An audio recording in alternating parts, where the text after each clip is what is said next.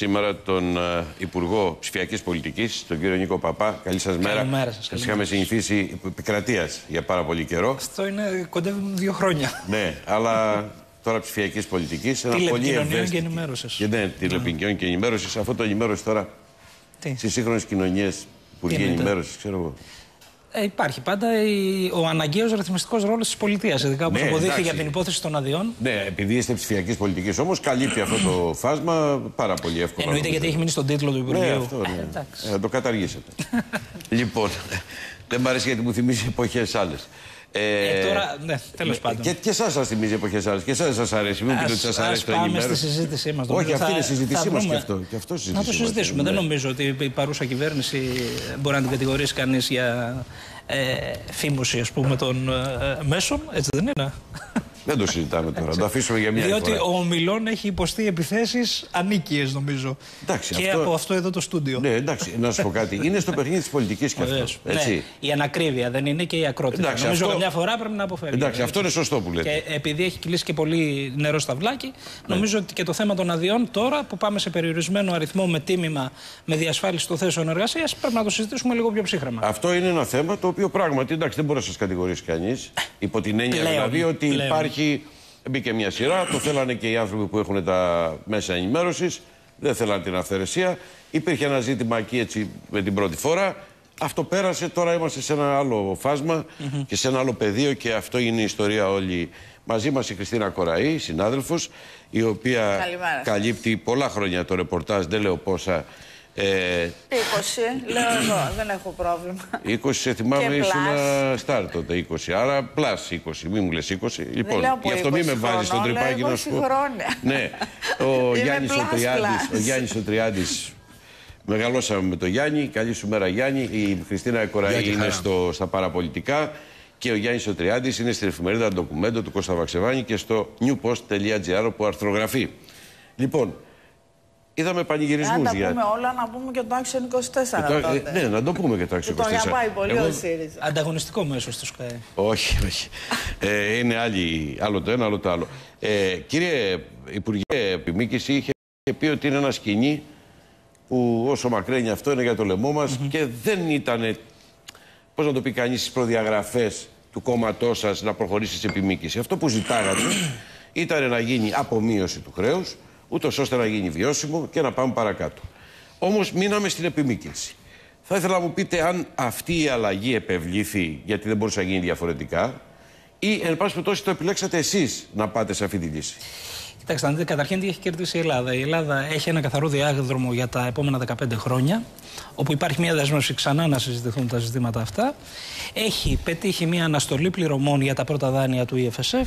Έχει πετύχει Τα μια 100 δις, λέτε. επιμήκυνση, έχει πετύχει επιμήκυνση αποπληρωμής, έχει πετύχει βελτίωση των όρων δανεισμού, έχει πετύχει να επιστρέψουν τα κέρδη των κεντρικών τραπεζών από α, μέσα Τα στην 4,8 τετραετία. δις Μέσα να στην τα λέμε τετραετία. για να ξέρει ο κόσμος γιατί μιλάμε. Βεβαίως και όλο αυτό το πακέτο είναι μια πάρα, πάρα πολύ σημαντική ελάφρυνση η οποία αποτυπώνεται. Εκτός των άλλων, για να θυμόμαστε τι είχε συμφωνηθεί και πριν, στη δεκαετία 20 με 30 οι εκτιμήσεις με την προηγούμενη συμφωνία ήταν ότι θα έπρεπε να πιάσουμε πλεονάσματα του 7,2%.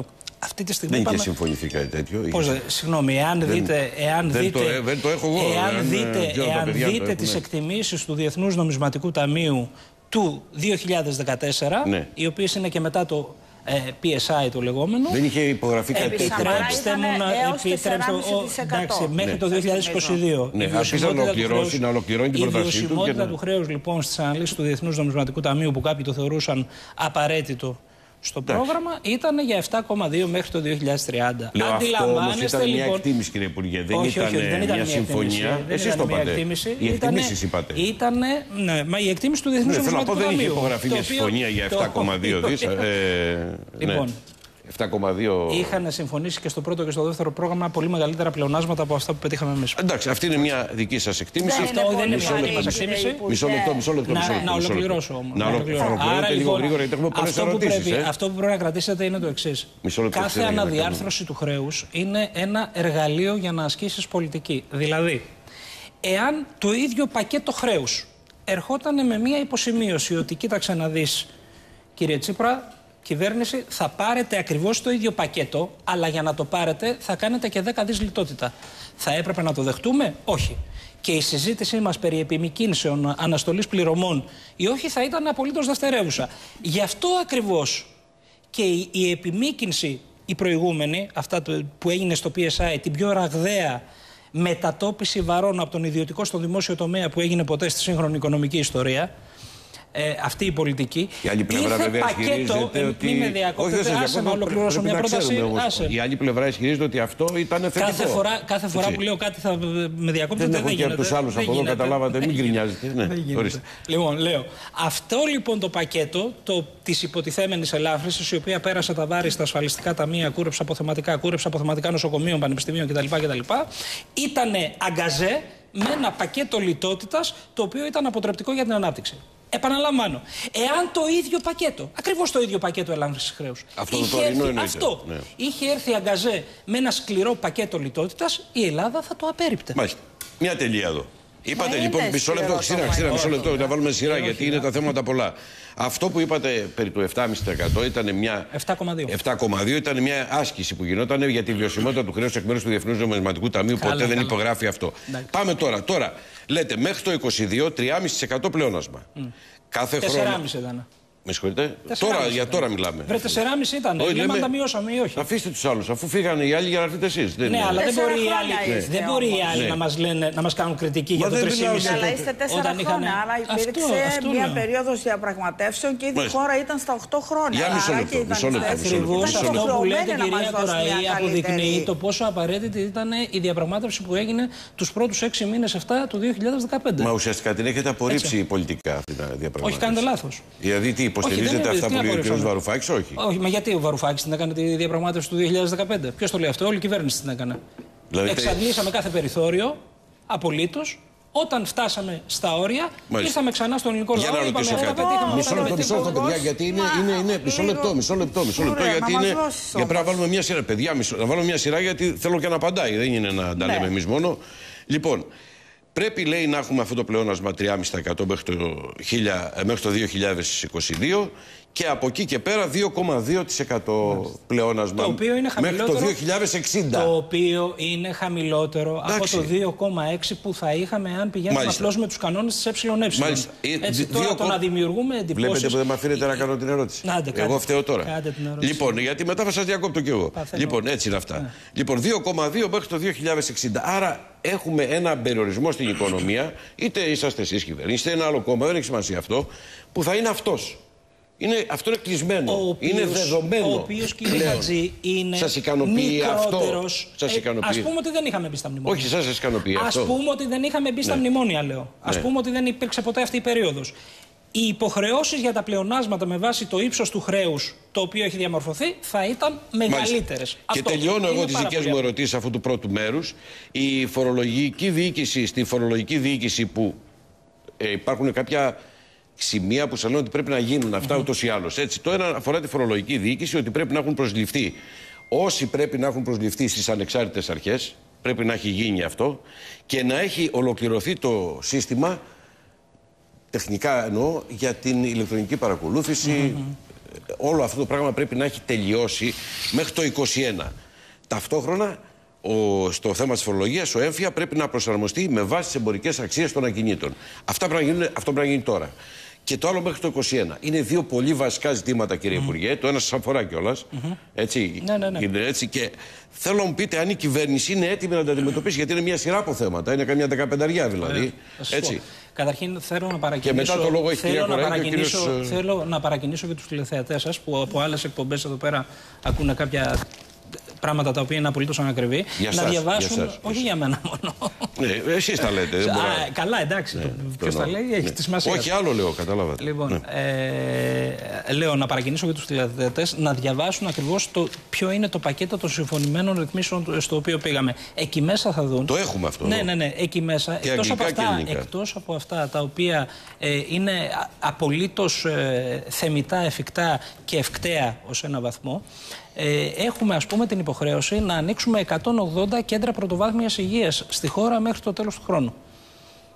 Πράγμα το οποίο είναι μια, θα σας έλεγα, δέσμευση την οποία θα έπρεπε ας πούμε ότι δεν είχαμε καμία συζήτηση με τους ξένους, να επιβάλλουμε στον εαυτό μας. Δηλαδή να οργανώσουμε την παραγωγή του κυβερνητικού έργου με τέτοιο τρόπο, ούτως ώστε σε αυτό το πεδίο να μπορέσουμε πάρα πολύ γρήγορα να έχουμε αποτελέσματα.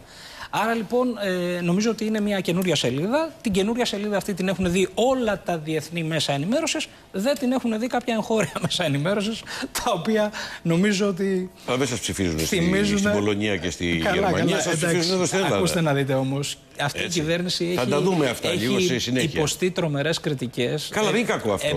όχι, όχι, είναι θεμητές. εξουσία πρέπει να ελέγχεται. Έτσι, και αυτός είναι και ο ρόλος των δημοσιογράφων. Και την κριτική την καλωσορίζουμε. Ωραία. Αλλά όταν υπάρχουν ανακριβείς αναφορές. Εντάξει, σαφώ να τις διορθώνετε και να τι λέμε. Χριστίνα. Άρα λοιπόν, επειδή Πάντως, έχουμε εμένα δεν μου υποστεί... είπατε αν, α- Ναι. αν θα γίνει προσαρμογή με βάση εμπορικές αξίες και πότε του έμφυα. Τι εννοείται, κα- κατά τα συμφωνηθέντα θα γίνει και μάλιστα έγινε ξεκάθαρο και ο Υπουργός Οικονομικών ότι ε, υπάρχουν ε, άνθρωποι οι οποίοι θα ευνοηθούν, οι οποίοι είναι στην πλειοψηφία και ε, ένα μικρό ποσοστό το οποίο θα επιβαρυνθεί. Χριστίνα. Λοιπόν, κύριε Υπουργέ, πριν ακόμη στεγνώσει η υπογραφή της συμφωνίας για το χρέος, ακούσαμε τον ε, ε, κύριο Τσίπρα, τον Πρωθυπουργό, στο Ζάπιο να μιλάει για αποκατάσταση, αποκατάσταση όχι μερική, κατώτατου μισθού, στοχευμένες μειώσεις φορολογίας και διάφορα άλλα.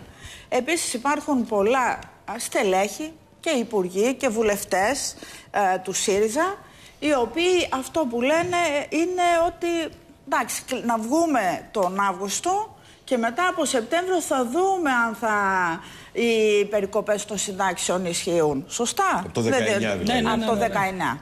Λοιπόν, η ερώτηση μου είναι, αφού είστε τόσο αισιόδοξοι ότι μπορεί να αλλάξει το πολιτικό τοπίο, για ποιο λόγο δεν απαιτήσατε στις διαπραγματεύσεις, εγώ θέλω να είμαι καλοπροαίρετη, όχι και τα δύο μέτρα και τη μείωση δηλαδή του αφορολόγητου και τις περικοπές συντάξεως που είναι 5,2 δις, αλλά τουλάχιστον να είχατε κερδίσει τα περίπου 2,1 δις που αφορούν τις περικοπές των συντάξεων. Γιατί λοιπόν όταν δεν το κάνατε μέχρι τώρα, τις ψηφίσατε δύο φορές και με το Ολοκλήρωσε πολυνομοσχέδιο όμως για να και με απαντήσει. το... Αυτή είναι η ερώτηση. Έχουμε υπομονή. Και, ε, με το, και με το συμπληρωματικό μνημόνιο. Γιατί να σας πιστέψει ο κόσμος ότι ξαφνικά από τον Οκτώβριο θα δούνε το φως το αληθινό. Ωραία. Και βέβαια είναι και θέμα, και κλείνω με αυτό, και αξιοπιστίας της Ελλάδας σε μια στιγμή που θα πρέπει να βγει στις αγορές προς τους έξω. Γιατί πάλι θα λένε Α, οι Έλληνες άλλα υπογράφουν, άλλα Πρέπει να α, το κάνει, λένε. δεν πρέπει να το κάνει. Τι εννοείται. Δηλαδή πρέπει να γίνουν οι περικοπές. Για μένα δεν έπρεπε καθόλου να υπογραφεί Αυτή όλο τη στιγμή αυτό. τώρα είμαστε εδώ που είμαστε. Πρέπει να γίνουν ή δεν πρέπει να γίνουν. Άμα το υπογράψατε, κύριε Φυσικά, Υπουργέ. αλλά Άρα- το άρα εσείς λέτε υπογράψατε ότι δύο πρέπει να φορές. γίνουν. Όχι, λέμε πρέπει να γίνουν, αφού Για το μένα ούτε υπογράψατε. το Εμείς δεν αφορολόγητο. λέμε, Γιατί ναι, και το ναι. αφορολόγητο, κύριε Υπουργέ, τους αδύναμους χτυπάει. Μισό Δεν λεπτό, χτυπάει μισό τον λεπτό. Ναι, εφοπλιστή. ένα λεπτό, Μισό θα λεπτό, τον δώσουμε τον χρόνο μεγαλόφιλο γιατί έβαλες και τον πολλά θέλω. θέματα. Για να είμαστε, για να είμαστε ακριβείς, πρέπει οποτεδήποτε γύρουμε θέμα μέτρων το 19 και το 20 να μιλάμε και για τα αντίμετρα. Διότι η Δεν τα κορυφαία. έχετε ανακοινώσει ακόμα; Ε, τα έχουμε περιγράψει νομίζω και Ναι, με να μας τα πείτε λεπτομέρεια. όμως, να μας τα πείτε. ακούστε Έχει όμως. ενδιαφέρον, να μας τα Ακούστε με πείτε. λίγο, ακούστε. Και κάτω από εποπτεία. βέβαια. Μισό λεπτό. Να μην τα μισό βάζεις όλα λεπτό. μαζί, περίμενε. Γιατί είναι και ο κύριος Τριάντης να ρωτήσει. Παρακαλώ, Είναι κύριε. καταιγιστική, Πάρε, κύριε παρακαλώ. Υπουργέ. Δεν σα δίνω άλλο να Αλλά, μιλήσεις τώρα. εντάξει. για ένα Καλά τέταρτο. κάνετε να κρατάμε Ελάτε, και το κύριε ενδιαφέρον. Παπά, ελάτε, παρακαλώ. Λοιπόν, το 19 και το 20 λοιπόν έχουν ψηφιστεί μέτρα τα οποία θα έχουν από μηδενικό έως θετικό ισοζύγιο ως προς το αποτέλεσμά τους. Αυτή είναι η πραγματικότητα και η ελληνική κυβέρνηση καλώς δεν απεμπόλησε το ισχυρό διαπραγματευτικό χαρτί ότι ήταν η μεριά του τραπεζιού μέχρι την τελευταία στιγμή η οποία τήρησε τα συμφωνηθέντα. Σας θυμίζω ότι όταν ξεκίνησε η συζήτηση για την εφαρμογή των έργων 19 και 20 πριν κερδίσουμε τα αντίμετρα η αντιπολίτευση έλεγε υπογράψτε. Δηλαδή τι μας έλεγε, υπογράψτε 2% περαιτέρω συμπίεση του προϋπολογισμού. Εδώ που είμαστε λοιπόν, και θα το πω εγώ ε, απολύτως καθαρά και όσο χρειάζεται, είναι προφανές ότι σε κάθε στιγμή και κάθε περίπτωση θα μπορέσουμε να διεκδικήσουμε ή να επανεξετάσουμε όποιο μέτρο δεν φαίνεται να είναι απαραίτητο για να πετύχουμε τους δημοσιονομικούς στόχους. Αυτή είναι η μεγάλη μεταβολή. Κάποιο Και παράδειγμα, η μεγάλη παρακαλώ. μεταβολή, Κάποιο παράδειγμα. Η μεγάλη Κάποιο μεταβολή. παράδειγμα θα μου σας πείτε. πω, Οπωσδήποτε μισό θα μου πείτε λεπτό, κάποιο μισό λεπτό. παράδειγμα. Ας πω ένα παράδειγμα. Ένα Αυτή τη παράδειγμα. στιγμή οι προοπτικές του ΕΦΚΑ, αυτής της τεράστιας, της πάρα πολύ σημαντικής, της μεγάλης μεταρρύθμισης, η οποία έχει φέρει μια πάρα πολύ μεγάλη πλειοψηφία του λαού μας να πληρώνει χαμηλότερες εισφορές, είναι πάρα πολύ θετικές. Είναι, οι προβλέψεις αυτή τη στιγμή που μιλάμε είναι ότι θα έχει πλεόνασμα 1,3 με 1,4 δις. Εάν αυτά επιβεβαιωθούν, αντιλαμβάνεστε κι εσείς ότι οποιαδήποτε παρέμβαση στο ασφαλιστικό σύστημα με την έννοια των περικοπών δεν θα είναι κάτι το οποίο τεκμηριώνεται και βασίζεται Ωστόσο, στα υπάρχει οικονομικά. μια παράμετρος, κύριε Υπουργέ, για αυτό που είπατε στο παράδειγμα που αναφέρατε μόλις τώρα, στη συμφωνία αυτή που έχει υπογραφεί, που λέει ότι πρέπει να πάμε άμεσα σε ένα ταμείο. Αυτό δεν είναι. Αυτό Που μα- σημαίνει ότι αυτό, κάποιο κοιτάξτε, ταμείο, αν μου επιτρέπετε, ναι, ναι, ναι. κάποιο ταμείο που είναι αδύνατο, λογικό είναι αυτό, να ε, ε, στρέψουν εκεί χρήματα, να γίνει, αντιλαμβάνεστε, μια πρόσθεση, μια αφαίρεση και αυτό το ποσό το οποίο λέτε. Δεν φαντάζομαι ότι θα εξανεμιστεί, αλλά θα μειωθεί πάρα πολύ Όχι, όχι, δεν σε θα ό,τι. μειωθεί. σε δεν θα ό,τι- μειωθεί διότι Πώς, ε; αυξάνεται. Θα σα πω γιατί. Δεν διότι, γίνεται. διότι αυτά τα θετικά αποτελέσματα ε, προκύπτουν από την αύξηση της απασχόλησης και τη μείωση της ανεργίας.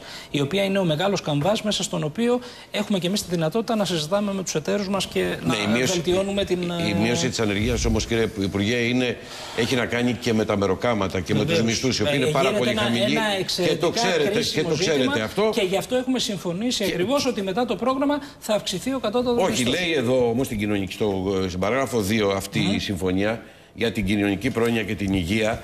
Λέει ότι, μάλλον για την αγορά εργασίας στο 4, λέει λοιπόν εκεί ότι θα επανεξετάζονται οι μισθοί κάθε φορά. Ακριβώς. Θα διερευνάται η αγορά και ανάλογα με την ανταγωνιστικότητα Ναι, ναι. θα παίζει ρόλο αν θα δοθεί ή όχι η αύξηση. Μα, μα δεν Εάν καταλάβατε. δηλαδή προσέξτε. δεν είναι Αυτός ήταν ανταγωνιστική. όμως Βρούτσης, αν το δεν είναι 2000, ανταγωνιστική, ε, δεν δέκα. συγγνώμη, Έλα, και θα- ελάτε εδώ τώρα. Θα μιλάμε με βάση την πρόσφατη ιστορική εμπειρία Όχι, και μισό όχι λεπτό, κάποιες Υπουργέ. ιδεολειψίε. Μισό- μισό λεπτό, όχι Ακούστε με κύριε ιδεολειψίες. Χατζή. Το Τι 12, σημαίνει ανταγωνιστικότητα; με βάση το 12 λέει, Τι το νόμο του σημαίνει- 12. Τι το σημαίνει, επικαλείστε. τι, συ- Ναι. τι σημαίνει ανταγωνιστικότητα; Οι επιχειρήσεις οι οποίες αυτό ποντάρουν που- στο πάρα πολύ φτηνό εργατικό δυναμικό γενικώς γίνονται τεμπέλικες επιχειρήσεις. Μάλιστα. Δηλαδή, ούτε Ναι. οργανώνουν την παραγωγή τους με τρόπο άρτιο, ούτε διεκδικούν να έχουν μερίδιο της αγοράς Μάλιστα. με βάση την αύξηση της παραγωγικότητάς τους. Μάλιστα.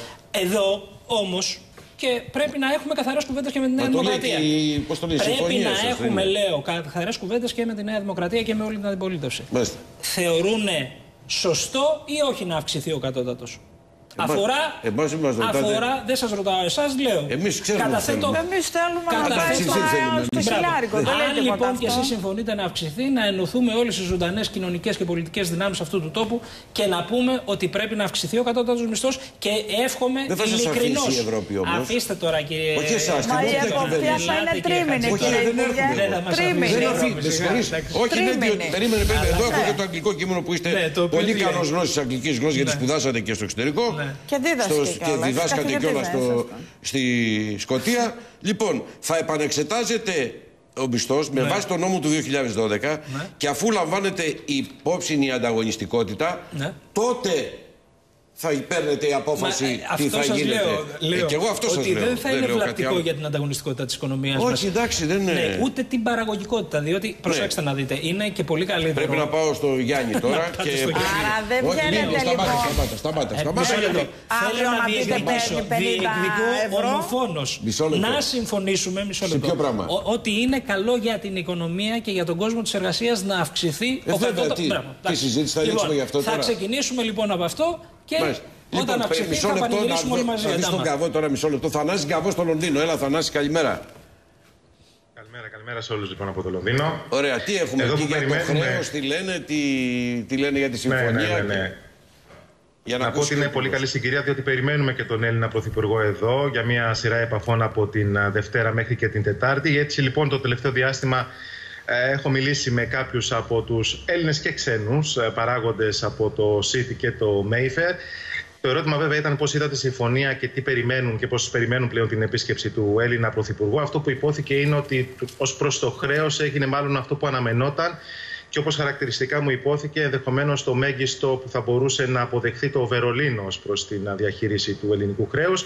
Υπό αυτή την έννοια είναι τέλειος ο συγχρονισμός της επίσκεψης του κυρίου Τσίπρα εδώ στο Λονδίνο. Περιμένουν να τον ακούσουν, να τους πείσει όπως α, μου είπαν ότι ε, από την 20η Αυγούστου έστω η Ελλάδα πράγματι γυρίζει η σελίδα. Ως προς τη συμφωνία γενικότερα, οι περισσότεροι λένε ότι το γεγονός ότι υπήρξε συμφωνία είναι θετικό. Ε, τουλάχιστον επειδή αν δεν γινόταν συμφωνία θα ήταν ε, έντονες οι αρνητικές ε, συνέπειες.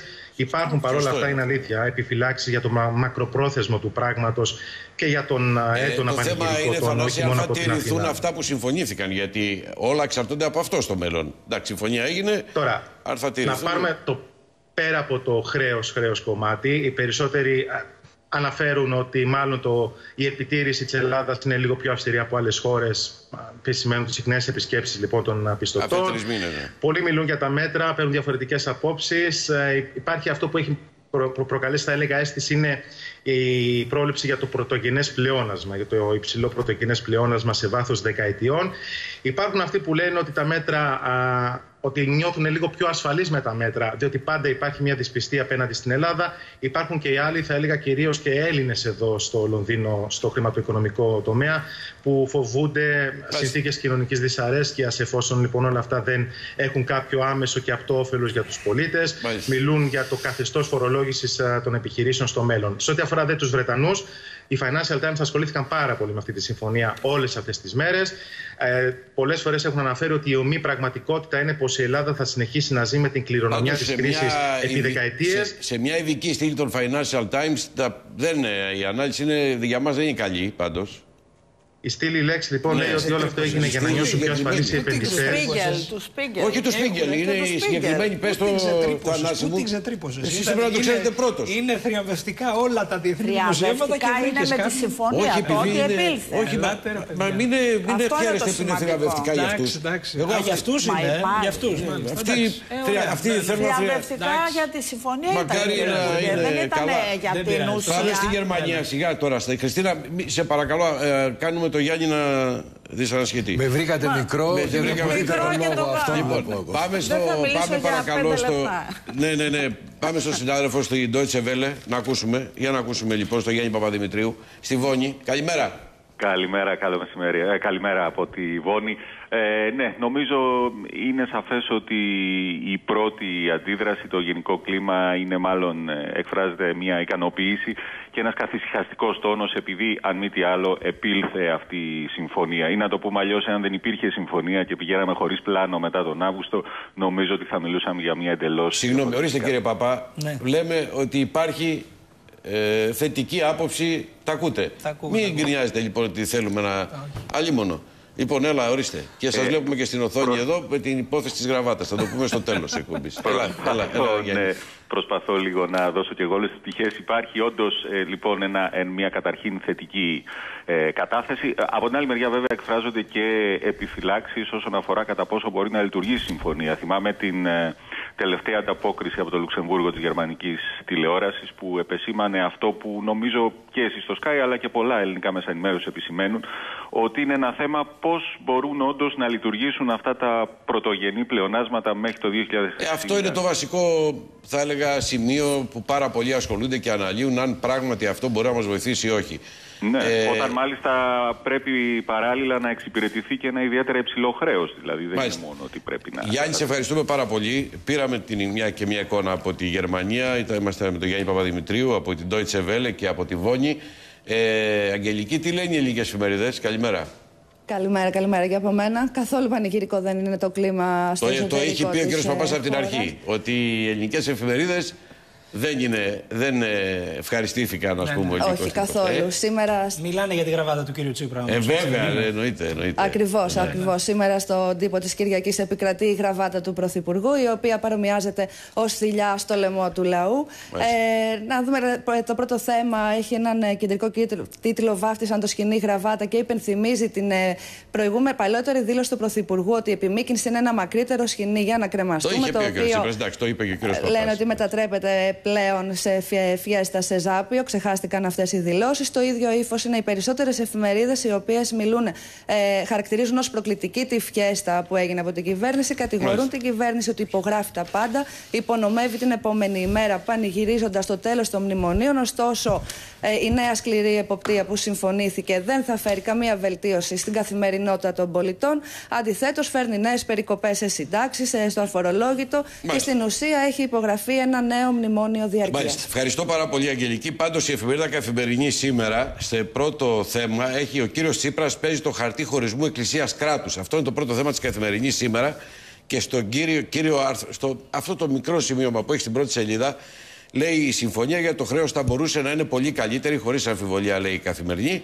Αποτελεί όμως μια ισχυρή ένδειξη ότι η χώρα αφήνει τις περιπέτειες πίσω της και επιστρέφει σε μια κανονικότητα. Υποχρέω. Δεν χωρίς τι. Να δείτε, επειδή είπατε για τις εφημερίδες. Γι' αυτό με αναγκάστηκε και διαβάζω τώρα το άρθρο αυτό της καθημερινής. Υποχρέωση των πολιτικών, όλων των πολιτικών είναι να διασφαλίσουν ότι η Ελλάδα δεν θα ξαναγίνει επέτης λόγω δημοσιονομικής ανευθυνότητας και πολιτικής φαυλότητας. Αυτό είναι πάρα πολύ σοβαρό που λέει η καθημερινή σήμερα. Εμένα με βρίσκει απολύτω σύμφωνο. Γιάννης Τριάντης. Μία επισήμανση και δύο ερωτήσεις. Η επισήμανση είναι ότι. Για αυτά ναι, που είπε ο κύριος Υπουργός ή για τη συμφωνία; Για τη συμφωνία. Μάλιστα, ορίστε. Πανηγυρίζουν οι Ευρωπαίοι, μίντια και πολιτικοί, είναι αλήθεια. Όχι όλοι, όχι όλοι. Ναι. Η συντριπτική πλειονότητα. Και ο, ο Σπίγκελ είναι συντάκτης των Financial ναι, ναι, ναι. Times και είναι το μοναδικό αρνητικό δημοσίευμα. Όχι, είναι και η στήλη που έλεγα που, που λέει ναι. που τη βρήκαμε. Αυτή είναι. Για τη συμφωνία. Για τη συμφωνία. Α, για τη όχι συμφωνία. για το περιεχόμενο. Όχι, όχι. Για τη συμφωνία. Και υμνούν την κυβέρνηση είναι γεγονός. Όμως, γιατί αυτοί οι πανηγυρισμοί και οι ύμνοι δεν αφορούν το γεγονός ότι ξέμπλεξαν με την Ελλάδα και όχι για την ουσία για την ουσία της συμφωνίας αν είναι υπέρ ή κατά της Ελλάδος. Αυτή είναι η επισήμανση. Τα δύο ερωτήματα είναι ο Πρωθυπουργός χθες και εσείς το είπατε ότι θα υπάρξουν ελαφρύνσεις, ε, μέτρα για τους φτωχότερους κτλ. Ε, κάποιοι διατείνονται και μάλιστα σοβαροί άνθρωποι ότι αυτά τελούν όλα υπό την έγκριση των δανειστών ακόμα και τώρα. Αυτή είναι η μία ερώτηση. Και η δεύτερη είναι. Να απαντήσει ένα-ένα. Όχι, όχι, όχι, όχι, Απλή ερώτηση είναι. Ναι. Και η δεύτερη, με 3,5% πλεονάσματα που είναι καθηλωτικά για την οικονομία. Πώς μπορεί να πείσει η κυβέρνηση ότι μπορούμε να έχουμε ανάπτυξη όταν δεν πείθονται και κορυφαία δικά σας στελέχη όπως ο κύριος Φίλης που είπε ότι τι πάει να πει έξοδος στις αγορές με 3,5% πλεονάσμα. Ε, πρώτον, ε, οι Ευρωπαίοι είναι πάρα πολύ λογικό, όπως και εμείς, ε, να θέλουμε ως οικογένεια να ε, μην έχουμε προβλήματα. Ε, υπήρξαν πάρα πολύ σοβαρά προβλήματα στη σχέση της Ελλάδας με την Ευρώπη τα οποία όπως αποδείχθηκε δεν ήταν λόγω της προβληματικής κατάστασης στην Ελλάδα, αλλά λόγω προβλημάτων που είχε στην ίδια της τη δομή η Ευρωπαϊκή Ένωση. Διότι ανάλογα προβλήματα και με πολύ χειρότερα αποτελέσματα έχει σε άλλες χώρες. Ακροδεξιά στροφή, Brexit και δεν συμμαζεύεται. Η ουσία ποια είναι, ότι κάθε συμφωνία περιέχει ένα κομμάτι από αυτά που ζητάει η μία πλευρά και ένα κομμάτι από αυτά που ζητάει η άλλη πλευρά.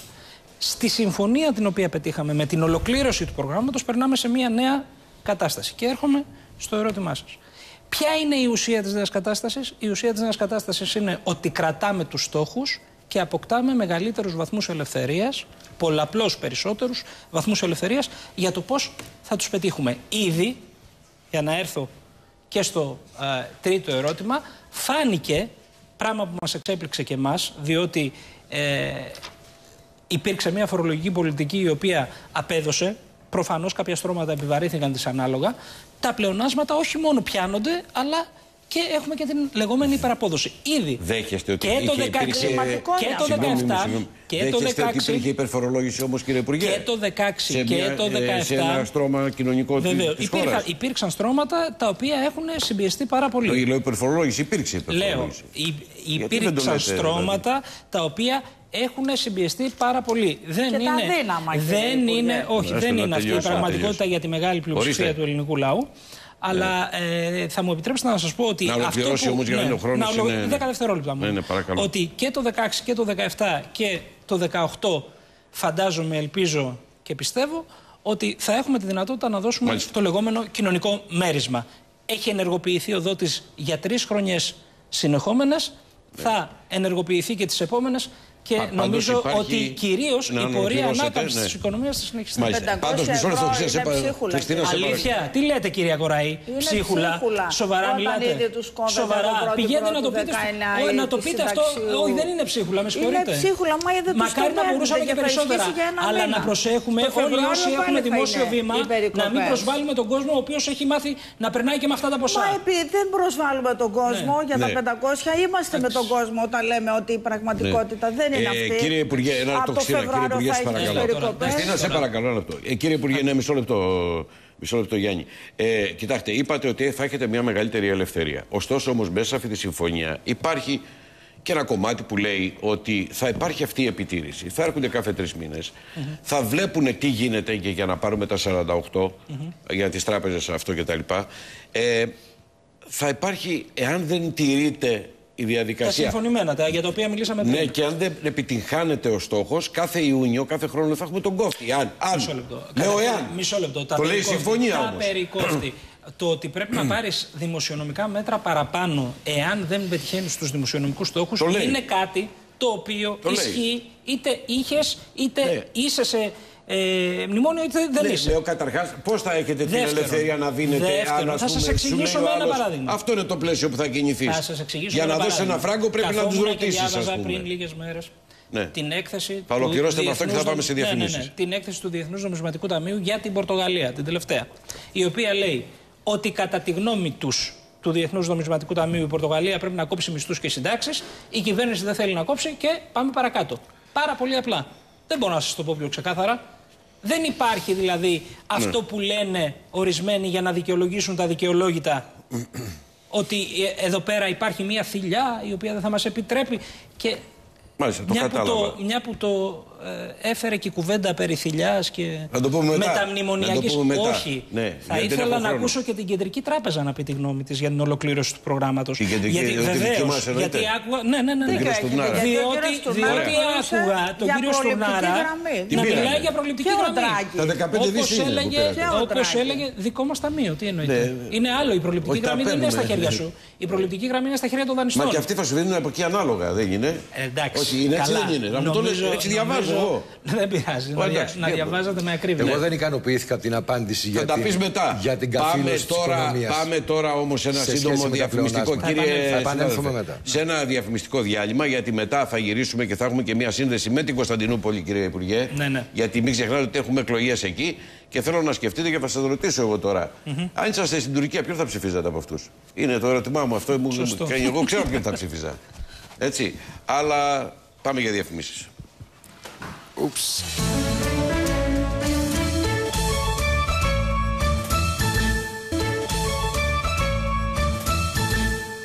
Λοιπόν, συνέχεια στην εκπομπή μας. Πριν πάμε στην Τουρκία, ε, θέλω πολύ σύντομα να το συμφωνήσουμε αυτό. Σύντομο ερώτημα, σύντομη απάντηση για να τελειώσουμε αυτό το κομμάτι. Ε, το Eurogroup είχε υποσχεθεί, ε, έγραψε ο Σπίγκελ, ότι η σημαντική ελάφρυνση χρέους στην Ελλάδα προκειμένου να μειωθεί αισθητά κάτω από το όριο του 110%. Δεν έγινε αυτό. Τι λέτε σοβαρά; Έτσι λέει ο άνθρωπος Ναι, αυτός. μα τι σας είπα εγώ για το 7,2 πλεόνασμα; Μπορείς να, μη- να πεις ότι θα μειώσω το χρέος στο 30% και να έχω πλεονάσματα 15%. Είχατε το χρόνο. πει, είχατε πει, οι απαντήσεις πρέπει να εξηγήσουμε στους ακροατές. Εμείς κάνουμε την ερώτηση. Εμείς είμαστε δημοσιογράφοι, δεν είμαστε πολιτικά πρόσωπα και οι τρεις. Κάνουμε την ερώτηση. Απαντάει, την κρίνεται. Λέει σωστά, δεν λέει σωστά. Έτσι δεν γίνεται. Δεν γίνεται. Δεν μαστιγώνουμε. Θέλω να το εξηγήσω αυτό για να. είμαστε- θεμητό. να- Θα εντάξει, με εντάξει. μέχρι σαν σωρίο και το Οι μαστίγωνα. υποτιθέμενοι. Το Σας μαστιγώνουμε εκεί που δεν μου μας δίνετε απάντηση. Η υποτιθέμενη γαλλική πρόταση για αυτόματη σύνδεση των μέτρων με το, για το χρέος με το ρυθμό ανάπτυξης δεν υπάρχει το γαλλικό κλειδί. Ναι, το Πέρασε γαλλικό του κλειδί- Βερολίνου. μισό λεπτό, το Πέρασε του Βερολίνου. Το γαλλικό κλειδί Δεν αφορά υπάρχει. την περίοδο που θα ξεκινήσουμε να αποπληρώνουμε. Εδώ έχουμε αναστολή πληρωμών για 10 χρόνια. Όταν ξεκινήσουμε να πληρώνουμε, το γαλλικό κλειδί είναι Δεν το μία λέει η αίρεση. Συμφωνία. Υπάρχει στη συμφωνία ως Όχι. ενδεχόμενο για το μέλλον. Δεν ακούστε υπάρχει. με όμως. Ναι, σας ακούω. Ακούστε με, Ναι, λίγο. αλλά δεν υπάρχει Λέω, γι' αυτό. Αφορά την περίοδο που θα ξεκινήσουμε να πληρώνουμε. Εδώ έχουμε αναστολές πληρωμών. Άρα, όταν θα πληρώνουμε, θα ξαναδιεκδικήσουμε οι πληρωμές να είναι με βάση τους Ναι, αλλά αυτό έχει να κάνει με τα πλεονάσματα που θα μπορούσε να είναι σαν ρήτρα ασφαλείας προκειμένου Τα να μειώνονται αυτά τα πλεονάσματα, πλεονάσματα. επαναλαμβάνω, Το 3,5 τα και το 2,2. πλεονάσματα που πετύχαμε Ναι, σταμάτα, και Γιάννη. συμφωνήσαμε είναι Ναι. χαμηλότερα πολύ Μάλιστα. Από αυτά που είχαν συμφωνήσει οι προηγούμενοι. Μάλιστα, μάλιστα. Ένα, χαμηλότερα και από αυτά που Αυτή θα είναι είχαμε η εάν δεν είχαμε απάντησή μπει σας. ποτέ στα Αυτή είναι η μνημόνια. απάντησή σας. 2016, Συγγνώμη. Νέα Συγγνώμη, συγγνώμη, Δημοκρατία. συγγνώμη, συγγνώμη. συγγνώμη. Σας έλεγε. Συγγνώμη, Πρέπει να Χριστέ. το Όχι, όχι, όχι. όχι, πω. όχι. Μου λες. Εδώ υπάρχει σοβαρό θέμα. Σκληρή εφαρμογή του προγράμματος σας ζητάνε για τη χρηματοοικονομική σταθερότητα, χρηματοπιστωτική σταθερότητα των κόκκινων δανείων. Μάλιστα. Θα υπάρχει σκληρή τακτική σε αυτό, Εντάξει, λέει το εντάξει, πρόγραμμα εντάξει, μέσα. Όχι, εντάξει. Ωραία, ε, εγώ ξέρετε τι παρατήρηση έχω να κάνω. Ναι, ένα λεπτό, γιατί Έχω αυτό είναι να σοβαρό κάνω την αυτό, παρατήρηση κύριε την Παπά. εξής, Είναι. Ότι υπάρχουν κάποιοι οι οποίοι έχουν ένα πολιτικό και οικονομικό πρόγραμμα το οποίο δεν μπορεί να εφαρμοστεί χωρίς εξωτερικούς καταναγκασμούς. Ναι. Είναι λογικό λοιπόν να αισθάνονται αυτές τις μέρες ότι χάνουν τη γη κάτω από τα πόδια. Τι είναι τους. αυτοί, οι Γερμανοί; Είναι η ελληνική αντιπολίτευση. Μα Η αφήστε οποία- την αντιπολίτευση τώρα, δεν Όχι, μιλάμε για όχι, αυτούς. όχι, όχι, όχι, όχι, Εγώ όχι. μιλάω για το Θα σημείο 3. κρατήσει ότι είναι Για το εφόσον σημείο 3 γίνουν της κυβέρνηση. συμφωνίας, κύριε Υπουργέ. Το Εγώ λέει. μιλάω για όλα Ε, τα η σημεία της υπογραφή συμφωνίας. έχει Ναι. σημασία. Λοιπόν, Η υπογραφή υπάρχει στην βάλατε. Ελλάδα λοιπόν ένα πολιτικό δημοσιογραφικό Πάλι τα ίδια. σύμπλεγμα. Μη μας μπλέκετε μας, Όχι, γιατί- δεν σας μπλέκω. γιατί- Εσεί καλά κάνετε και με ανακρίνετε. Δεν- δεν με- Λέω λοιπόν. Περίμενε μισό Πού λεπτό. πασχίζει να αποδείξει ότι θα υπάρχει σκληρή εποπτεία, ότι θα έχουμε Εγώ την, σας ρωτώ τι την γράφει. Δαμόκλειο Μια χώρα σπάθη. δεν Συγγνώμη, ρε κύριε Χριστιανά, μην Υπουργέ. πετάγεστε. Μισό λεπτό. Και το άλλο είναι εκπαίδευση των δικαστών μέχρι το τέλος του 18. Ακούστε το αυτό. Τρομερό το λέει η αυτό, συμφωνία, πραγματικά, είναι- δεν- για δεν να το θέλουν οι γνωρίζουν δικαστές. το θέμα που δικάζουν για τα κόκκινα δάνεια. Και η δικαιοσύνη έχει πρόβλημα, κύριε Υπουργέ. Βεβαίως και υπάρχει και. υπάρχουν και Σκέφτεστε να γίνουν καθυστερήσεις. αλλαγές δραματικές Και εκεί; υπάρχουν και καθυστερήσεις, βεβαίως και τις έχουν συμφωνήσει και θα προχωρήσουμε και έχουν πάρα πολλές ακρεμίε υποθέσεις προχωρήσει. Αλλά Δεν λέω ότι σας δεν εξηγώ, έχουνε. Σας λέω θέλω κι να εγώ. καταλάβει ο κόσμος Ναι, τι ότι ναι. συμβαίνει αυτή τη στιγμή. Ναι. Αυτή τη στιγμή κάποιοι οι οποίοι είχαν μάθει να πολιτεύονται μέσα στην πολιτική και ιδεολογική τους ένδια Μάλιστα. με την απειλή των δανειστών αισθάνονται ότι χάνουν το έδαφος Μάλιστα. κάτω από τα Αφήστε- πόδια τους. Αποδειχθήκατε ο καλύτερος ε, όλο- μαθητής. Ναι, Εντάξει, λοιπόν, αυτό τώρα- μέχρι το τέλος του 18. Είπατε πολλά, ναι, σε θα παρακαλώ, έπεφταν. Χριστίνα, σε Εάν παρακαλώ. τα έλεγα, μέχρι, θα το τέλος, έπεφταν. μέχρι το τέλος του 18 πρέπει να έχουν εκπαιδευτεί. Θα δούμε το πρόγραμμα Ναι. που θα βγάλετε. Και μέχρι το τέλος του 18, για να κλείσουμε αυτή τη συζήτηση, πρέπει να έχει ολοκληρωθεί το πρόγραμμα της πόλης των τρα- τραπεζών του, του, του Χωσού.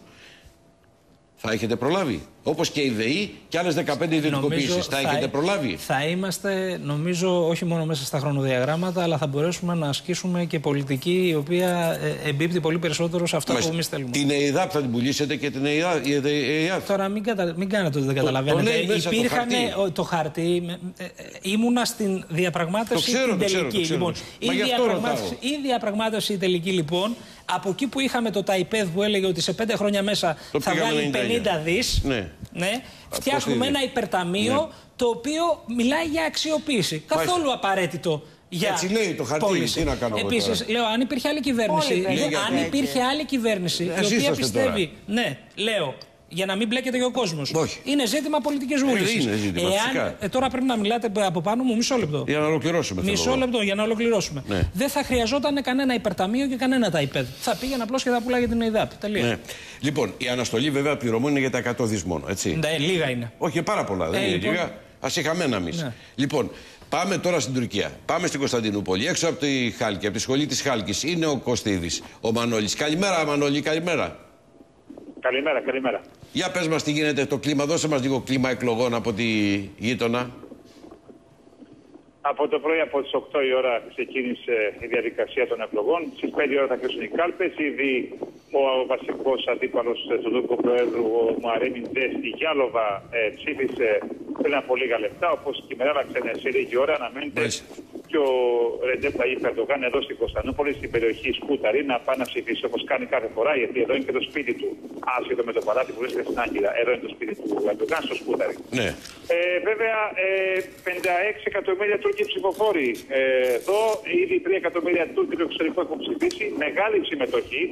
Εγώ επειδή πήγα και ψήφισα, μεγάλη θα είναι η συμμετοχή. Πάνω από 78 με 80%, ενδεχομένως να αγγίξει και το 90%. Αυτό δείχνουν τα πρώτα δεδομένα. Θα το δούμε αυτό. Οι δημοσκοπήσεις, βέβαια, όπως καταλαβαίνετε, δίνουν διαφορετικ- πολλά διαφορετικά αποτελέσματα. Εντάξει, θα το Κάποια- δούμε αυτό αργότερα ούτως ή Πάντως- άλλως. Ναι. ε, Πάντως το βράδυ των εκλογών αυτό που πρέπει να κοιτάξουμε πρώτα απ' όλα είναι το ποσοστό που θα πάρει ο Ερντογάν. Διότι αν πάρει κάτω του 50% πάμε στο δεύτερο γύρο των εκλογών. Αν πάρει το, το πάνω από 50% αυτή την Κυριακή εκλέγεται υπερπρόεδρος. Γιατί ήδη είναι πρόεδρος. Το θέμα είναι ότι με τις νέες εξουσίες θα γίνει πρόεδρος. Βεβαίως υπάρχουν και βουλευτικές εκλογές που οι Τούρκοι ψηφίζουν τα κόμματα, είναι με λίστε, δεν είναι με σταυρού.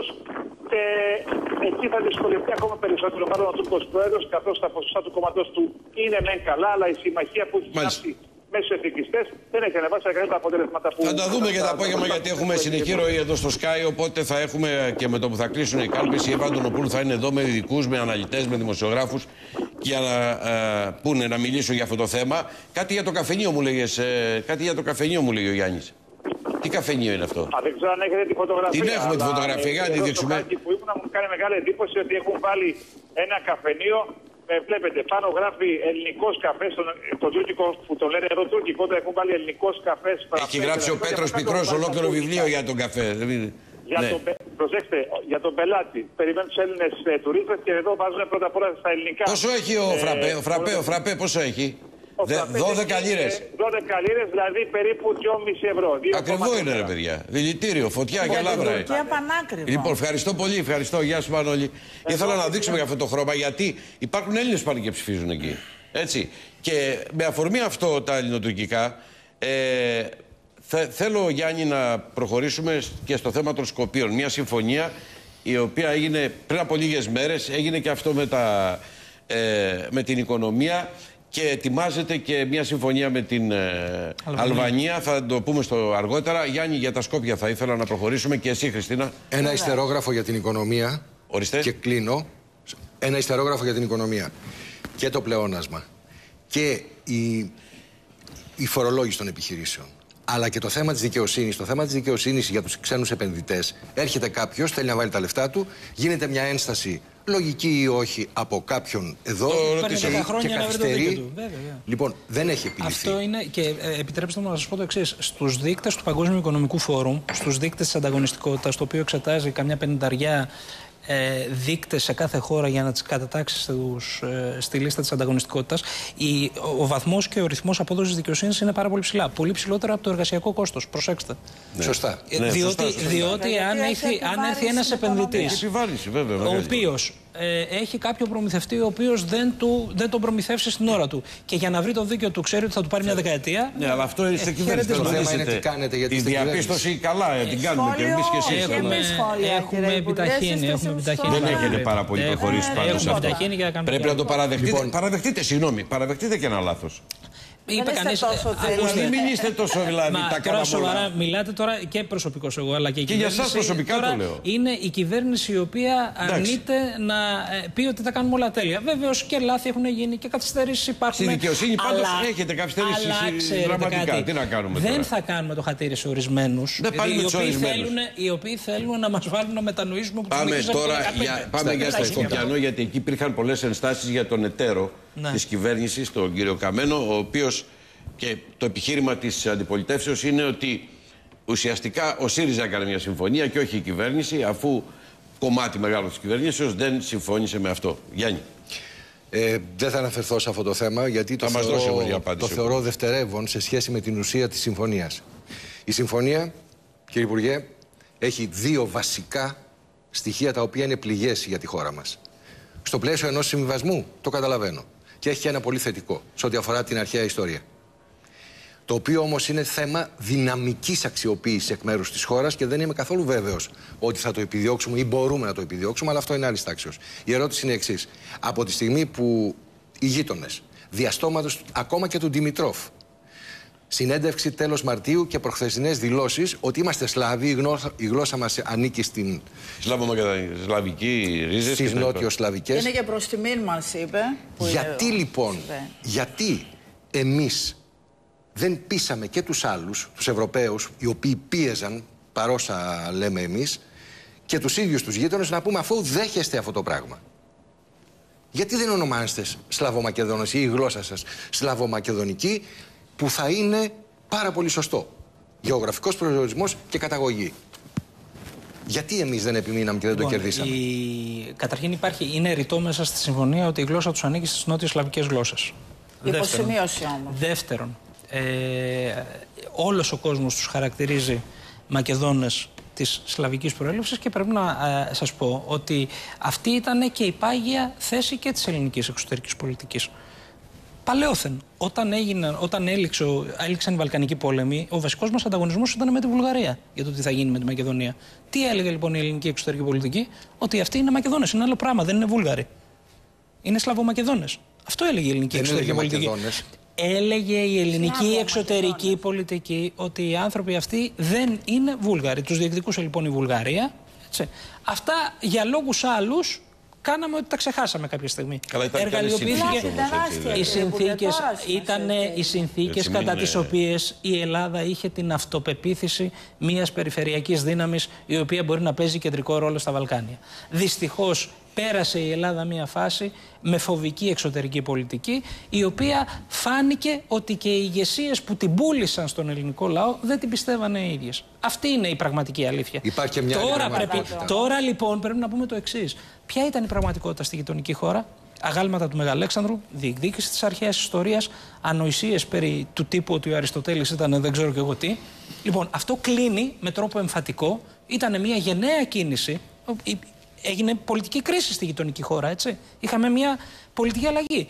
Και ε, εδώ πέρα καταγράφεται νομίζω ένα πάρα πολύ σημαντικό βήμα. Όσο θυμάμαι τον εαυτό μου, πραγματικά, θυμάμαι πολλές πολιτικές δυνάμεις να λένε πέραν του ότι όλες υποστήριξαν τη σύνθετη ονομασία με γεωγραφικό προσδιορισμό, να λένε ότι Βεβαίως η ονομασία, αλλά και τα ζητήματα λυτρωτισμού. Εκείνο ήταν το βασικό που δεν γινόταν η συμφωνία. Αυτό, Από το λοιπόν, 10ο αυτό αιώνα, λοιπόν κύριε συνέβη τώρα. Παπά. Αυτό λοιπόν συνέβη τώρα. Έχουν κλείσει τα ζητήματα του λυτρωτισμού. Η Ελλάδα είναι μια χώρα η Σας οποία άρεσε εσάς που υπερασπίζεται είπε- το Εντάξει. διεθνές δίκαιο. Σύμφωνοι. Σας άρεσε Έτσι. που είπε ο κύριος Ζάεφ παρουσία του Έλληνα Πρωθυπουργού, είμαστε Μακεδόνες. Μα τι έπρεπε να πει ο άνθρωπος; Ξέρω εγώ, εσείς τι λέτε. Τι έπρεπε να πει; Είναι Μακεδόνες για τους σλαβικής ονόμασαν. καταγωγής. Μασεντόνια. Πώς; Μα λέει η η, η συμφωνία. Μακεδονία τι είναι, δεν είναι μια γεωγραφική περιοχή η οποία δεν ανήκει. Χωρίστηκε στα τρία η Μακεδονία. Στα εντάξει. τέσσερα με ένα μικρό κομμάτι Με και το στην μικρό, Αλβανία. εντάξει, λέω Αλβανία, στα τρία ουσιαστικά. Αλβανία, τε- η σημερινή πρώην Ιουγκοσλαβική Δημοκρατία της Μακεδονίας, η Μακεδονία του Πυρήμ που ανήκει στη Βουλγαρία και το, η πλειοψηφία του γεωγραφικού Εξώς αυτού μας. χώρου η Το Ελλάδα. αεροδρόμιο της Μακεδονίας πώς θα ονομαστεί κύριε Όπως Υπουργέ; ονομάζεται τώρα, να μην, να μην διακινούμε Εντάξει, πράγματα που είναι δεν λίγο- Χατζή, έτσι Ε, θα να λέγεται κάνω κι εγώ αεροδρόμιο. μια ερώτηση. Κύριε Όχι, Χατζή. κάτσε, σου δώσα Όχι, απάντηση. μέχρι Ε, Μα και τι να ο- πούμε, Σοβαρή. παιδιά τώρα. Τι Ο να κύριος το πούμε. είπατε, Μπουτάρης με είπε συγχωρείτε. κάλης πάλι Καλά. προχθές Ο μου, Μπουτάρης είπα σε μπορεί να ένα λέει ό,τι θέλει. ραδιοφωνικός Ο Μπουτάρης σταθμό. καλά. Ο δημοσίουμαχο. Θα το Δεν πούμε είναι τώρα. γιατί το απέρριψε, λέει. Δεν Ναι, είναι. εν πάση περιπτώσει. Με το Πασόκ θα πάει. Ένα follow-up που έλεγαν και οι αρχαίοι μόνο Έλληνες σε αυτό που ρώτησα. Εγώ χαρακτήρισα θετικό το γεγονός του διαχωρισμού της ιστορίας των αρχαίων Μακεδόνων. Και όποιος το αρνείται, αυτό ή το υποβαθμίζει, νομίζω το κάνει λάθος. Όμως, αυτό για να υποστηριχθεί στα χρόνια που έρχονται και με τις επιτροπές, πρέπει να γίνουν δύο πράγματα, κατά τη γνώμη μου.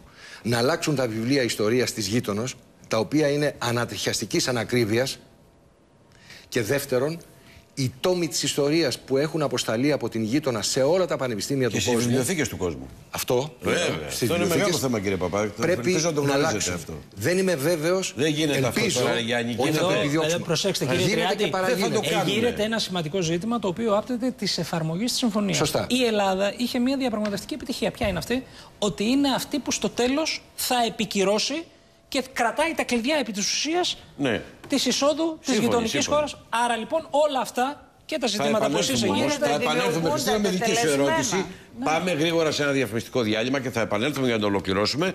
Όπως επίσης θα επανέλθουμε κλείνοντας σημερινή εκπομπή και γι' αυτό που λέει σήμερα η εφημερίδα Καθημερινή, δηλαδή εάν ε, πάει η κυβέρνηση σε ένα άλλο πεδίο να ασχοληθεί για να υπάρξει χωρισμός κράτους εκκλησίας. Συνταγματική αναθεώρηση. Είναι, είναι, είναι ένα πολύ σημαντικό Ήταν θέμα. μία από τις ερωτήσεις που Ναι, ήθελα θα να το πούμε υποβάλω. αυτό στη συνέχεια. Αφού κάνει η Χριστίνα τις ερωτήσεις της για το ε, Σκοπιανό, αν μου επιτρέψετε να το λέω έτσι εγώ. Να μην το λέτε. Όχι, Το Σκοπιανό, μακεδονικό, ε, γιατί μ' δεν αφορά, αρέσει. μόνο, δεν αφορά μόνο τα Σκόπια. Μ' αρέσει η λέξη, Δεν, δεν- αφορά τα Σκόπια. Μα Αφορά εγώ τη δεν θέλω Μακεδονία να τους λέω, συνολικά. ε, καταλάβατε, δεν- Αφορά τη Μακεδονία, της οποίας Έχω τις τις δυνατότητες τις είχαν προδώσει οι Να πολιτικές κρατήσω ηγεσίες. τις απόψεις μου εγώ. Να τις κρατήσω. Ευχαριστώ πάρα πολύ. Εμένα με Διαφημίσεις, πονάει πολύ το διαφημίσεις. μακεδονικό.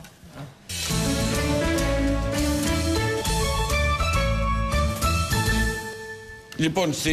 να- για να ολοκληρώσουμε τη συζήτησή μας, μιλάγαμε για, τα... για την υπόθεση των Σκοπίων. Εντάξει, σε αυτό το θέμα, κύριε Υπουργέ, πρέπει να το δεχτείτε. Υπάρχει πολύ μεγάλη ευαισθησία στον ελληνικό λαό. Βεβαίως, αλλά Υπάρχουν ξέρετε, και ξέρετε, βεβαίως τραβηγμένα. υπάρχουν και κενά ενημέρωσης. Ναι, δηλαδή, εντάξει, πάντως- το γεγονός ότι για πρώτη φορά η Ναι. γειτονική μας χώρα φεύγει από τον ισχυρισμό ότι έχει οποιαδήποτε σχέση Μάλιστα. με την αρχαία ελληνική ιστορία της Μακεδονία. είπε ο κύριος είναι Τριάντης, μια τομή. εντάξει. Αλλάζει το όνομά της Ναι. 140 χώρες, αλλάζει το Σύνταγμα και βεβαίως Ερώτηση. κάποιοι υποκριτές, διότι πρόκειται για υποκριτές, οι οποίοι είναι οι πρώτοι που έπρεπε να βγουν στην πολιτική αγορά και να πούνε την αλήθεια στον κόσμο, ειδικά στον κόσμο ο οποίος κατέβηκε στα συλλαλητήρια. Να σταματήσουν να του λένε ψέματα για αυτό το τόσο ευαίσθητο εθνικό θέμα. Και αν νομίζουν ότι κάνουν επένδυση στο πολιτικό τους μέλλον, θα διαψευστούν. Πάντως, κύριε Παπά, ο καθένας σε μια δημοκρατία έχει την άποψή του για τα πράγματα και κάθε κείμενο Ναι. διαβάζεται και ερμηνεύεται αναλόγως. Θα σας πω ένα Σωστό είναι και παράδειγμα. αυτό. Το Ευαγγέλιο. Η καινή διαθήκη. Τη διαβάζουμε οι Ορθόδοξοι έτσι. Οι Καθολικοί αλλιώς. Οι Προτεστάντες στη Γερμανία αλλιώς. Οι Προτεστάντες στην Αγγλία διαφορετικά. Ποιο, το, το πιο ιερό κείμενο Εγώ που ξέρω, υπάρχει. ότι η Θέλω χώρα, να πω. εγώ ξέρω ότι η χώρα είχε γραμμή Βουκουρεστίου και με αυτή την γραμμή κέρδισε. Ναι, άλλο λοιπόν, λέω. τώρα Θέλω να πω, ποιοι υπάρχουν, έχουν επιλέξει ε, στη Νέα Δημοκρατία εντάξει, αυτό να είναι- κάνουν μια στροφή, μια, εμείς ρωτάμε- μια Ο θεαματική Καραμαλής δεν μετατόπιση; συζητούσε το Ναι, συ- μακεδονικό Ε, έθνος Λοιπόν, και τη πάμε στο μακεδονική ερώτημα το γλώσσα. κρίσιμο. Για μένα, πριν ε, πάμε σ- στο θέμα της Εκκλησίας. Ε, υπάρχει μια συζήτηση που γίνεται με την Αλβανία. Επί της ουσίας, Εθνικό θέμα δεν μου έδωσε ερώτηση. περίμενε, που δεν το έχω. πειράζει, ε, θα στρώσω με την Εκκλησία που είσαι και πιστή εσύ και Βέβαια πήγαινες και στο είμαι. κατηχητικό. Λοιπόν, ε, υπάρχει αυτό το ζήτημα, αυτή η συζήτηση, δεν ξέρουμε ακριβώς τι έχει γίνει και σας ρωτάω ευθέως γιατί το άκουσα αυτό, το, ειλικρινά Ναι, το άκουσα και από ανθρώπους που δεν είναι της αντιπολίτευσης, ε, Καταρχάς, ποιο είναι το εύρος της θεματολογίας που συζητάει η κυβέρνηση και αν έχει ανοίξει συζήτηση για την περιουσία των τζάμιδων. Αυτό θέλω να μου το πείτε. Λοιπόν, ακούστε να δείτε, δεν συζητιέται τίποτα τέτοιο. Νομίζω ότι το διευκρινίζει και ο Υπουργός Εξωτερικών της Αλβανίας σε σημερινή του συνέντευξη στο Βήμα. Ε, την οποία σας καλώ να δείτε. Την είδαμε. Ε, α, ναι, αυτό που πρέπει να κάνει η Ελλάδα, δεν το ξέρει ο κόσμος, είναι να ε, τελειώσει με το θέμα της ε, αποκλειστικής οικονομικής ζώνης και τον ε, ορισμό των συνόρων. Ε, ελπίζω και φαντάζομαι ότι δεν υπάρχει κάποιος ανόητος Ναι. που λέει ότι πρέπει να πάμε πίσω από το Λισίνκι. Έτσι. Έχουν αλλάξει τα δεδομένα. Ναι, έχουν αλλάξει, δεν κατάλαβα. Αμφισβητούμε τα σύνορα αυτή τη στιγμή. Όχι, Εμείς. όχι, όχι. Η Ελλάδα είναι η χώρα η οποία ε, ακριβώς στηρεί το διεθνές δίκαιο και αυτό είναι το μεγάλο της όπλο. Και η- στις ναι. σχέσεις της με την Τουρκία. Έτσι δεν είναι; Ναι, και Λοιπόν, θέλω να μου πείτε σε ποιο σημείο βρίσκεται η συζήτηση με την Αλβανία για τις ε, θαλάσσιες ζώνες, κύριε Υπουργέ, αν έχετε υπόψη. Νομίζω ότι είναι σε εξέλιξη μια διαπραγμάτευση. Το χειρίζεται το Υπουργείο Εξωτερικών με τρόπο άρτιο και ε, ελπίζουμε να υπάρχουν και εκεί Μάλιστα. αποτελέσματα. Ε, Πάμε. ε, επιτρέψτε μου να πω όμως το εξής. Η Ελλάδα έχει κάθε λόγο τα προβλήματα με τους βόρειους γείτονές της να τα λύσει. Και να μην Προς αφήνει. όφελός της όμως. Προς όφελός της και κυρίως Όχι. να μην αφήνει τη διείσδυση, πολυεπίπεδη διείσδυση της Τουρκίας να εξελίσσεται στα νότα της. Τη φοβάστε την Τουρκία πολύ, κύριε Υπουργέ; Εγώ όχι όσο φαίνεται να προσπαθούν να μας πείσουν κάποια μέσα ενημέρωσης ότι πρέπει να τη Πάλι φοβόμαστε. με τα μέσα ενημέρωσης. Ναι, ναι, Μα ναι, εσείς ναι. ο ίδιος λέτε Μα πρέπει να κλείσουμε εδώ- τους βόρειους. όχι, όχι, όχι, όχι. Τα, τα θέματα Μην- με τους τώρα- βόρειους γείτονες για να μην έχουμε με την Τουρκία Ακούστε να προβλήματα. δείτε Εσείς τώρα. το είπατε. Έκανα αναφορά στα μέσα ενημέρωσης διότι έχω ενοχληθεί από κάποια ρεπορτάζ Εντάξει τα τώρα. οποία μας δείχνουν Ερντογάν πρωί, μεσημέρι, βράδυ και μας εξηγούν τι υπερόπλα έχει. Αυτά τώρα πρέπει να Έχει εκλείψουν. όμως. Πρέπει να προσέξτε. Προσέξτε. Δεν μπορεί να το Λέω, κρύψει ο είναι, δημοσιογράφος ναι, αυτό, κύριε αλλά δεν Υπουργέ. άκουσα τους ίδιους να λένε για την αποτρεπτική ικανότητα της Ελλάδα. έχει η Ελλάδα. Εδώ συνέχεια είχαμε σαν να ζούσαμε Λέω, σε πόλεμο, μην, κύριε Υπουργέ, μην στα με κανάλια. προκαλείτε. Τόσα πολεμικά Μην ρεπορτάζ. με προκαλείτε σε αυτό το πράγμα. Ναι, δεν Αυτά έχουμε τα πολύ πράγματα χρόνο. είναι πολύ ευαίσθητα Ναι. και ελπίζω Συμφωνώ, βεβαίως βεβαίως.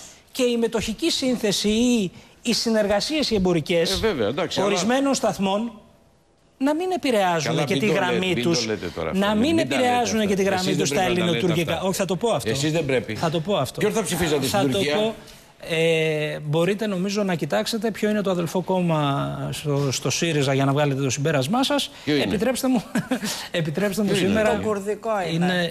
Το ρεπορτάζ μου αυτό είναι, λέει. Ναι, είναι το, έχει δίκιο κυρία Κοράη. Ε, αλλά ε, η Ελλάδα, μπαίνει στη η, Βουλή Ελλάδα μάλλον σε αυτό. κάθε, η Ελλάδα σε κάθε περίπτωση είναι έτοιμη να συνεργαστεί με την ηγεσία την τουρκική. Έχει κάθε λόγο Μάλιστα. να υπάρχει ηρεμία στις ελληνοτουρκικές Εντάξει, σχέσεις. λογικό. Πάμε στην Διάτιμου να δούμε τι, το πρωτοσέλιδο της καθημερινής. Έλα, Αντία. Καλημέρα. Σύμφωνα λοιπόν με την καθημερινή της Κυριακής, ο Αλέξης Τσίπρας σχεδιάζει το διαχωρισμό κράτου-εκκλησία, ε, το οποίο για- προκειμένου να αποκτήσει ρίσματα στον μεσαίο χώρο. Σύμφωνα με πληροφορίες, τον επόμενο μήνα ε, θα αναπτύξει ο Πρωθυπουργός το πλαίσιο για τη συνταγματική αναθεώρηση, το οποίο θα περιλαμβάνει και το διαχωρισμό κράτου-εκκλησία.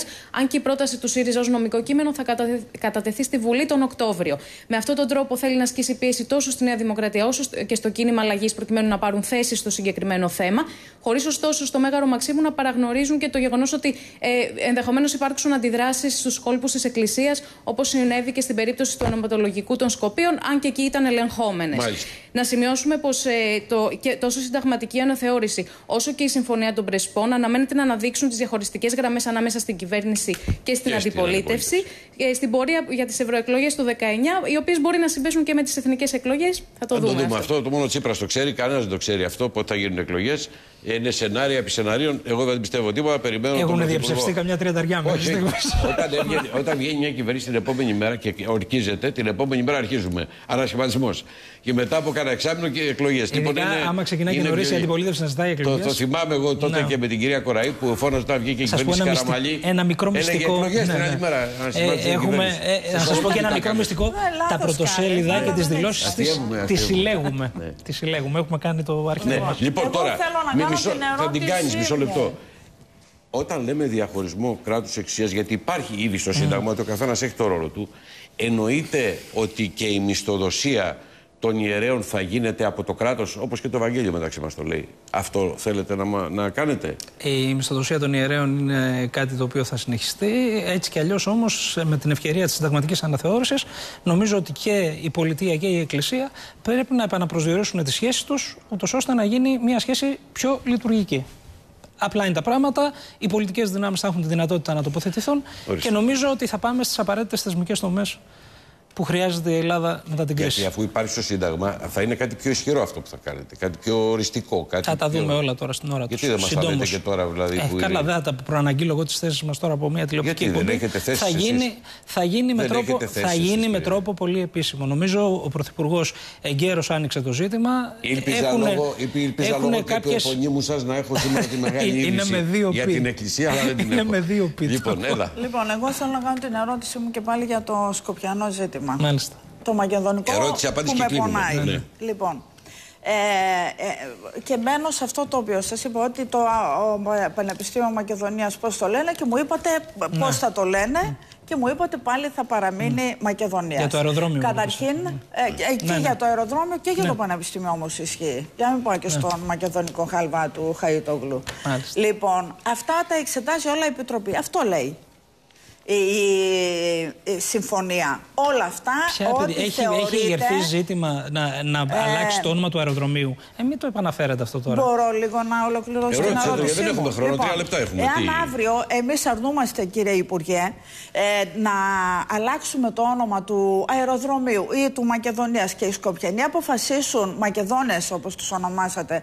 να πάνε σε ένα διεθνές δικαστήριο, σας ερωτώ, το δικαστήριο ε, ποιανού τη θέση θα πάρει, της χώρας Μακεδονίας ή της περιφέρειας Μακεδονίας.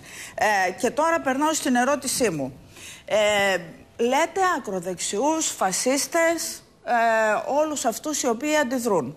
Ετερόκλητο Μ' πλή- ακούσατε εμένα όχλο. λίγο πράγμα. Ο- Λέω για το, το ΣΥΡΙΖΑ. Όχι, όχι, δηλώσα. δεν είναι. Εσείς είστε Αυτοί πολύ. οι οποίοι Ο προπυλάκησαν, Πρωθυπουργός είπε ετερόκλητο αυτοί οι οποίοι όχλος. προπυλάκησαν, Τα συλλαλητήρια ετερόκλητο αυτοί όχλος οι το οποίοι ονόμασε. προπυλάκησαν, κυρία Κοραή, ναι, βεβαίως είναι ακροδεξιοί. Πρόκειται για πάρα πολύ μικρές ομάδες, ανθρώπους με μαζί σας. ονόματα και διευθύνσεις. Μάλιστα. Και περί αυτού Ωραία. πρόκειται. Χριστίνα, Να Για τους προχωρήσω ανθρώπους που λοιπόν στο κατέβηκαν ερώτημα. στο Δεν υπάρχει. συλλαλητήριο, Δεν Γιατί είναι την θέμα. ίδια Δεν έχω. στιγμή- Θέλω να κλείσω κι εγώ. γιατί την Όχι, ίδια θα κλείσω στον στιγμή αέρα. Δεν μαζεύεται έτσι για να σας το πω πάρα πολύ απλά βουλευτές όπως είναι ο κύριος Σέλτσας ο οποίος ήδη έχει αρχίσει Εντάξει, το εντάξει. οποίος στο παρελθόν Χριστίνα, είχε δεν θέσει έχουμε θέμα χρόνο, δεν έχουμε. μακεδονικής Τι να Σας κάνουμε τώρα. παρακαλώ. Ένα λεπτό και έχουμε. χόρευε και Τώρα δεν θα μου μακεδονικός πείτε, να σας πω. αντιτροτικό χο- Ακούστε. χορό. Ένα λεπτό, σας Εμένα παρακαλώ. το Το λέει, χόρευε και ο κύριος όλη η Τζανακόπουλος το νομαρχιακή της χόρεψε. Νέας Δημοκρατίας στον ίδιο Και χορό. αυτή το, Να για δείτε μένα και λοιπόν. αυτή είναι.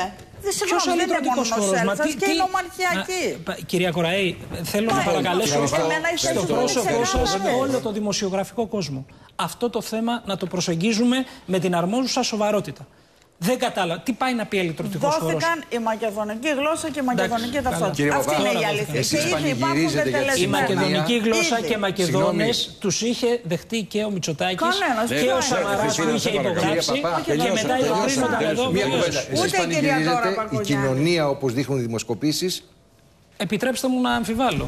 Επιτρέψτε μου να γιατί αμφιβάλλω. αυτές που βγήκαν μέχρι σήμερα. Επιτρέψτε Ένα μου να 70%. αμφιβάλλω. Μα, ναι, Ωραία, όταν θα το ρωτάς δούμε. τον κόσμο, εάν θέλεις να έχει συνθετικό της λέξης Μακεδονία, ενδεχομένως να πει Μάλιστα. όχι. Μέχρι το θέμα, στιγμής. το Σας θέμα είναι ποιο ευχαριστώ είναι το θερμά εφικτό. όλους. Ευχαριστώ τον Υπουργό Ψηφιακής Και Πολιτικής, εγώ τον σας κύριο ευχαριστώ. Νίκο Παπά που ήταν μαζί μας Και εμείς εδώ τον ευχαριστούμε. και για τη συζήτηση που κάναμε. Ευχαριστώ τη Χριστίνα Κοραή που βεβαίως με δυσκόλεψες λίγο σήμερα.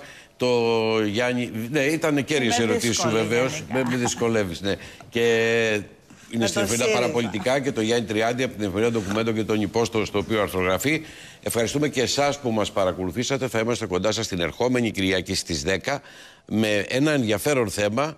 Ε, το οποίο κύριε Παπά θα αφορά την ιστορία της υπόφυστοσκοπίων με ειδικούς ανθρώπους που θα είναι εδώ στο στούντιο για να μας εξηγήσουν Όχι τι άλλα ακριβώς ψέματα. συμβαίνει. Όχι άλλα Δεν θα ψέματα. είναι πολιτική, θα είναι. Όχι θα άλλα είναι στο- ψέματα για το θέμα το μακεδονικό. Μα τώρα τους Η ιστορικούς Ελλάδα- θα διαψεύσουμε Η τώρα. Ελλάδα είχε πάγια πολιτική Μάλιστα. και κάποιους Και- πολιτικάντιδε οι Μάλιστα. οποίοι Και- τη δεκαετία του 90 κάνανε καριέρα. Και ε, οπωσδήποτε κάθε πρωί 11 η ώρα, ανατρέψανε την η, κυβέρνηση η ώρα Μητσοτάκη. 11 στο ραδιόφωνο του Sky στο 100,3. Να περάσετε ευχάριστα. Γεια χαρά.